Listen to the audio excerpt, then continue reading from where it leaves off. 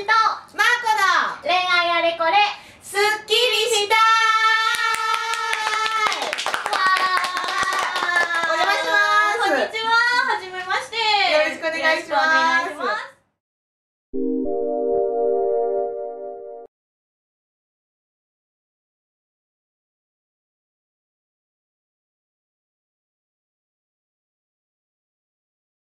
で男の人って女の人以上になんか香りって気にしてるのかなって思ったりするんですよ。なんかよくあすぐシャンプー変えたとかささっきの話じゃないですけど、はいはい。言われたりするからやっぱそこはやっぱ気をつけなきゃなと思う。できつすぎる匂いもダメだし、こう気づかれなすぎるのも嫌だしで間取ったら何なんだろうとかって思ったり。するんやっぱりあの皆さんよく質問されるんですけど、うん。香りってうん。その場所とかに合わせて選ぶっていうのが、うん。ある種のマナーになってるうので、そういった部分も考えながら使えるようになるとそうですよね。ワンランクアップの女になるってことですね。その通りですねえでもあ西園寺さんもありますか？この男性の好きな仕草とか、仕草。仕草。そうですね。西園寺も漫画の見過ぎかもしれないんですけれども、ボタンを1個外す。あ。あ分かるかも。でも分かる。ちょっとねに行った会社帰りでスーツのネクタイちょっとグイグイグイってやっちゃうみたいな、はいはい。あ気許してくれたかなみたいなとこありますよね、そこですかね。わかるわマーコさんはどうですか？私は男性のこの手の血管？血管というか。した！来ました！来る？来る？そうですね。女性の一番、あの気になるうん男性のパーツは手っていう意見がやっぱそうすごく多いですね。手のなんかこうシュッとしててこの筋張ってる感じ？たまらんなって思うんですよ。なんか抱きしめられたいみたいに。マーコさん興奮中です。興奮しちゃったついつい喋ってるとこういうなんかね女子だけとかで喋ってると ついついそういうの出ちゃいますよね。これ好きなんですよ。この筋張ってる感じとかここのなんかこの喉仏とか男らしいなっていうしい感じですそう。ねあとやっぱスーツって3割増しで本当よく見えますね。やっぱり仕事を頑張ってる姿とかそうなんですよ。かちょっとピシッとしてる感じそうあのタイトめなスーツ。はいぴったり自分のサイズに合ってるスーツ着てる男性はやべえって思っちゃうん。スーツ男子とかいいじゃないですか。だから私あの4月あたりの新入社員が多い電車とか好きですね、あもうじゃないですか？そうなんですよ。これが公開されるコ頃のの頃の電車はたまらんですよ本当に。ちょっとあんま慣れてない感じのスーツも可愛いなって思っちゃうんですよ。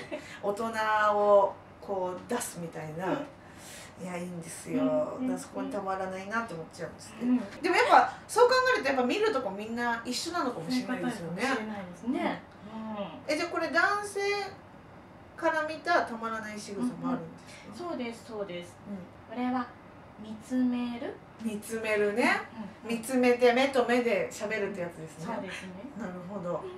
あとは美味しそうにご飯を食べる。わかるわ。私これなんかなんかこれ私言われたんですよ。男性とかから。美味しそうにご飯食べてる女子は可愛いと無邪気に見えると思ってうんで私前その9 7キロある時に付き合ってた男性いたからいつもその時にこうバカバカ食べてたんですよ。で家来てもすぐ「何食べる?」とかって言って「何でも作るよ」みたいな。胃袋をつかめって言うじゃないですか。で胃袋つかもうと思って毎回毎回そればっか言ってたら、はい食べることばっか言うなって言われたことある お前はいつも食べることばっか言うなって言って。なんか西園寺も耳が痛い気がします、だからこう極度にやりすぎるのもダメなんだなっていうので 勉強になったけど。でもやっぱそうだよな。そうですね。やっぱり素直でいるっていうことですかね、うん。美味しそうにご飯食べるっていうのは、うんうんうん。あとは斜め45度。なるほど。こう見つめるっていうことですね。あとは手をこう触るんでもこう触るあこっち。クロスさせる。さっきのあのニューハーフが言ってたようにこうクロス系ですね。綺麗に見せる綺麗に見せるうんところとかあとはスキンシップとかスキンシップね。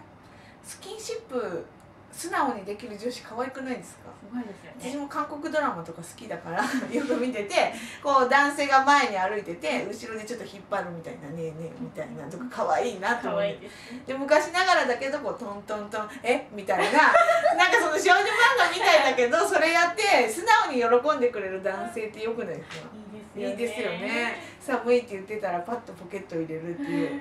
そんなの世の中やってんのかな。韓国ドラマではしょっちゅう出てくるんですけど。よね。でもドラマとか漫漫画みたいなことをやりたいですよ画やりたいねですやりたいです。1個のマフラーで2人でやるとあかなんかキュンキュンしてきます。ね。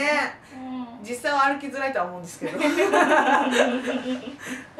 その後はですね、うん。LC ならではですねやっぱり、なんかベッドの中では、うん。やっぱり普段はしないトロンとした表情とかあ理性でコントロールができない仕草に特に 反応する。あなるほど。男性がたまらないってことで。うん。理性のコントロールできない上女子。女子仕草に。わかる。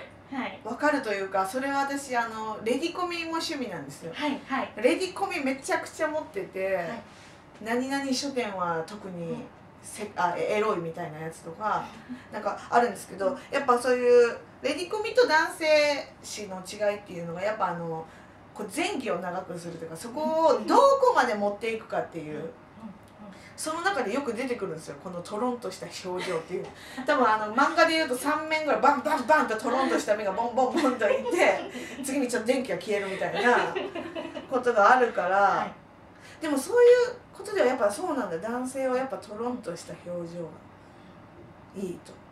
そうですね。なるほど。レディースコミックも勉強になるかもしれないです。勉強になりますよ本当に。ああいう出会いがしたいんですけどね。なるほどな。声を上げるのをなんとか止めようと指を噛んで我慢している姿が可愛い。実際あるんですかね。